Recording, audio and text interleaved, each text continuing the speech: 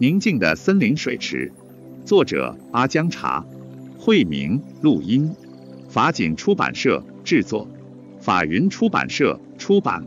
对治贪欲，如果在家生活是最适合修行的话，佛陀就不会叫我们出家了。我们的身和心就好像一群小偷和杀人犯，不断的把我们拉入贪嗔痴的火焰中，在感官的不断接触下，在家的生活进而难上加难。就好像一个人在屋内以一种欢迎的语调控召唤住我来这里，请来这里。然而，当你靠近时，他们便开门拿枪射你。你可以去做，例如用粗陋之物或以尸体做禅修的苦行，将你所看到的每一个人，包括你自己，都视为尸体或骷髅。然而，这些修行并不容易，因为你一看到年轻貌美的女孩。就不再看到尸体了。观身的禅修是一个对峙的例子。我们通常都认为身体是完美和美丽的，而道是要你去思维观它的无常和苦的一面。当我们年轻力壮，还不曾受过重病的折磨时，比较会有错误的观念和做不好的事。死人乎也离得很遥远，所以没有丝毫恐惧。如果我们不禅坐的话。尝到病痛的滋味或衰老的觉悟时，也许才会改变我们的看法。为什么要等到那时候呢？就把自己当作死了一样。虽然欲望还没死，没错，但就当他们已死了一般。有时候走极端点是必要的。例如住在危险的野兽附近，如果你知道附近有老虎和野象，而且也为你自己的性命担忧，你就没有时间去想淫欲了。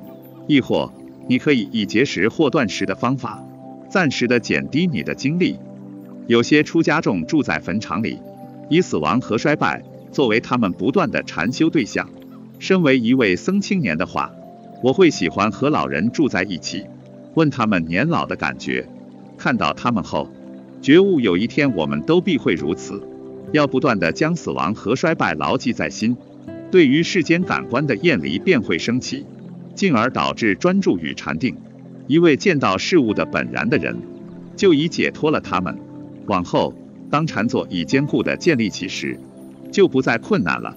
我们之所以被贪欲所驱，是因为禅坐上不到不动摇的地步。身为出家人来到森林里居住，就已不再让烦恼杂染为所欲为了。因此，我们会发现他们非常用力的在踢我们。耐心及毅力在此时则是唯一的处方。事实上，有时候我们的修行中什么也没有，唯一有的只是毅力而已。当然了，一切都会改变。我们这样住在森林里，外面的人大概都会说我们神经病，做的跟佛像一样。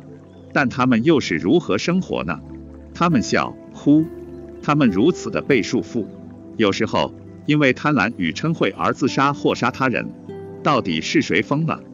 切记要把我们为何出家牢记在心。